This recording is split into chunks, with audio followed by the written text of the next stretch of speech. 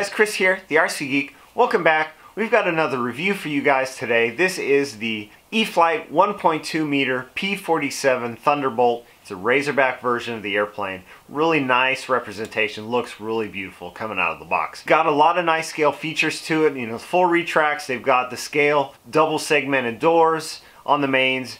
They've got rocket tubes, external tanks, bombs, all of that good detail that, that really make this airplane a true warfighter. Also, you can run 3S or 4S. Uh, in the system, we're going to fly both and we'll let you know how it goes and compare the two. Also, this is the bind and fly version that you can get. It comes with a receiver in it. And so as a part of that, it includes AS3X and it also has the Horizon Hobbies safe technology. We're going to touch on that a little bit here, but I'm thinking I may do a full video on just the safe technology to give you guys some pointers on how to set that up uh, and how to utilize it best if you're still learning. So let's get this airplane together. We'll let you know how it goes and then we're going to take it out to the field, get some flights on it, and we will report back to you. So let's go!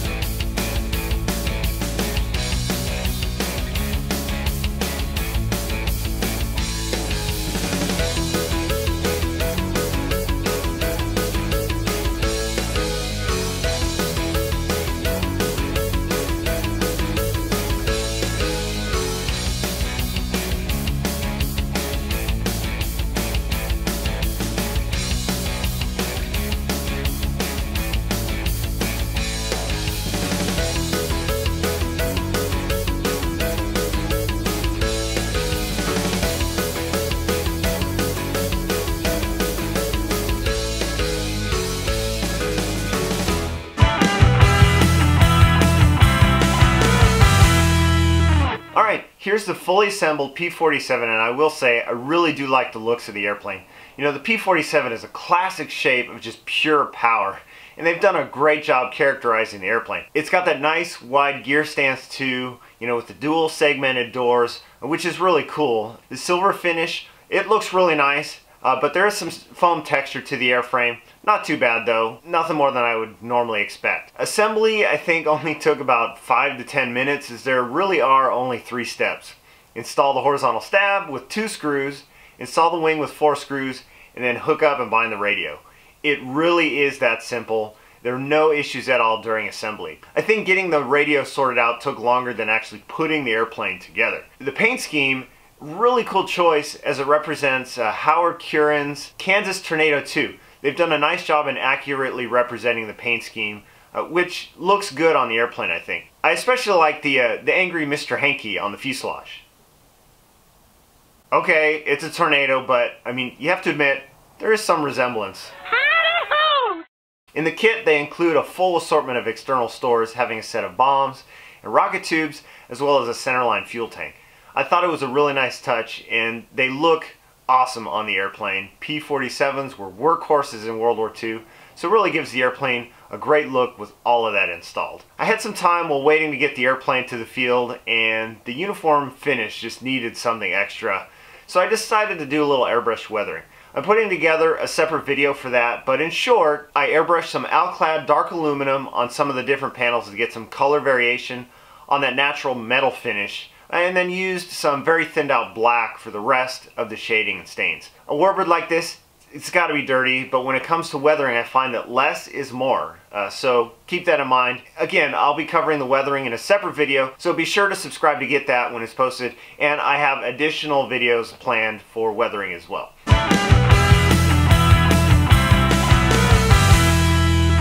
Now in setting up the airplane, and this being the bind and fly version here, uh, there are two distinct procedures for enabling or disabling the Safe Select technology. Uh, this airplane is a great kind of next level airplane and so the Safe Select is there to help those that may not be as comfortable flying warbirds yet. So let's say for a maiden you have it selected on, it will limit you from rolling or pitching the airplane over on its back. In setting up the airplane, if you want it off, then simply bind the airplane normally, keeping the bind plug in place the whole time during the bind procedure. However, if you want the safe select on, uh, then you start the procedure normally, but prior to selecting bind on the transmitter, uh, you remove the bind plug from the receiver. Once powered on, uh, the airplane will then give an indication of the mode it's in during initialization by cycling the surfaces either once for safe select off uh, or twice for safe select on. Now if you plan to use safe select, I highly recommend assigning it to a switch so that you can turn it on and off as desired. To do that, you can simply move the desired switch you want it assigned to five times right after the aircraft establishes link during the bind process. Or uh, you can assign it any other time by cornering both sticks inwards uh, to each other and then flipping the desired switch five times. Then when you use the method where you corner the sticks, you must have your dual rate switches selected such that you are at 100% endpoint travel for all of those channels. Otherwise, it won't work. Now, obviously, if you got the plug and play version where you install your own receiver, then yeah, you don't have to worry about any of this. You just plug it in, set it up, and you go. Now, on the control surface setup, if you're not familiar with Warbirds or Warbird flying, I highly recommend setting up multiple rates on your radio. I'm using a DX18, so I have the ability to assign triple rates. I'll start with the max throw recommended in the manual as my high rate and then reduce it from there. Uh, also, sometimes it's better to reduce your max travel than it is to add exponential. So keep that in mind, and there's some games you can play there. It's all about that desired feel in the air. Now ultimately, through flying the airplane, I found that the max rates for the elevator were good. Uh, but I found the ailerons a bit sensitive for my liking, and so I dropped that down to my lowest rate. So here's what I'm using for the control throws. Uh, for elevator, 1 half inch with 15% expo. For aileron, 7 16ths inch up and down with 15% expo. Uh, and then for rudder, 1 inch left and right with 15% expo, it, mostly there to desensitize the steering. Now for flaps, 7 16th inch mid flap and then full flap at 1.5 inches uh, with about a 10 to 15% down elevator mix, uh, which translates to about 3 32nd inch down elevator with full flaps. Now, keep in mind, if you're using Safe Select, uh, there is a pitch assigned to the throttle. So what that means is for the lower third portion of the throttle, you'll get slightly down elevator. Uh, so if you plan to use that, you don't need the elevator mix with the flaps because it kind of takes care of that for you. Gives you a nice, beautiful descent for a landing. Now for the CG location, they recommend in the manual about 65 millimeters as measured from the leading edge aft at the root. Uh, this is a really good place to start. I did find it a touch nose heavy in the air. It wanted a bit more down elevator in the inverted. So I'm flying the airplane closer to about 68 to 70 millimeters. Now, if you're flying this on three cells, you will have to add nose weight or fly a really large capacity pack. With a 4S 3300 to 3600 pack, the airplane will CG about right, pushing the battery all the way forward.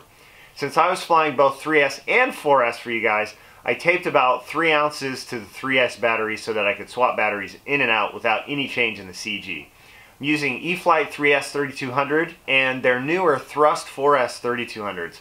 A nice thing about the Thrust packs is they have a built-in LED battery charge level indicator. Pretty cool feature I will say.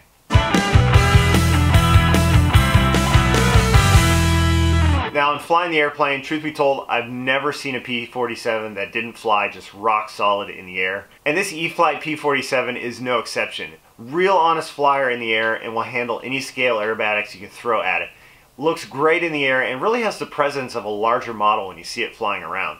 On 3S, performance is decent, it's got good speed and vertical, but I found myself flying mostly full throttle on 3 cells, as this gave the airplane good penetration for flying aerobatics. And on 4S, however, yeah, it's pretty much insane, as the airplane has unlimited vertical and just awesome speed. I found myself flying around 50 to 60% throttle with the 4-cell setup, uh, which gave great maneuvering speed. It'll do a wonderful knife edge and having the extra power helps the airplane just pull through that really well. I found that the airplane would fall out of the knife edge a bit on three cells.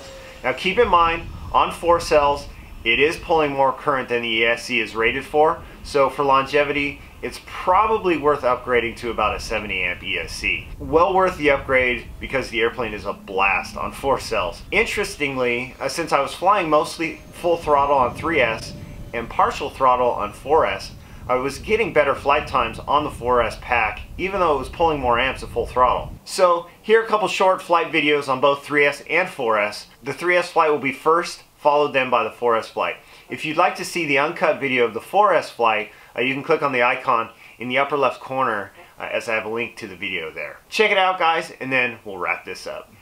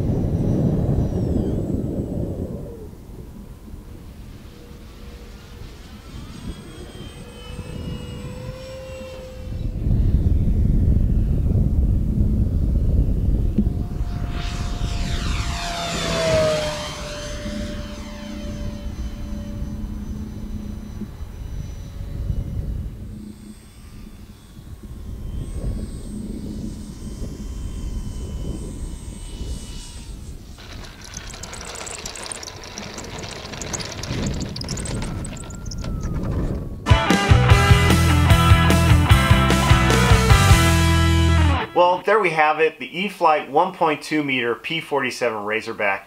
What a fun little airplane this is. E-flite has really put together a nicely engineered airplane that goes together great, flies awesome with a ton of really nice features. Plus, with it comes the customer support that you would expect from Horizon Hobbies, so you know you're always covered if you have any issues. Also, if you're still new and in the market for a next step airplane, you know, this is an excellent option, especially given that, you know, the Bind to Fly has that safe technology as a part of it. There are some things to consider when dealing with that safe technology and I do plan to put together a separate video discussion on just that. Uh, so be sure to subscribe to get that. Alright guys, that is it for this video. Thanks so much for watching. I really hope you found this review helpful. As always, I have a full article on my blog, thercgeek.com, with links to everything, so be sure to check that out. As mentioned, I plan to put together a video on the weathering that I did. I also will be putting together a separate discussion on SAFE and ways to use it, so be sure to subscribe to get those when they post. Thanks again guys, and I'll see you at the field.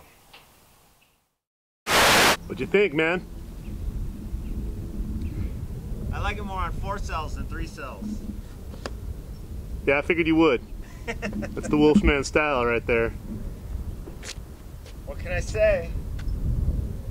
Speed and angels. I love them.